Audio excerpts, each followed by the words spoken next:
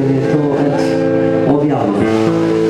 Ali ovu pjesmu danas bez problema pjevaju naši malo prije pomenute kolege iz Dubioze kolektiv, a mi ćemo je sada odsvirati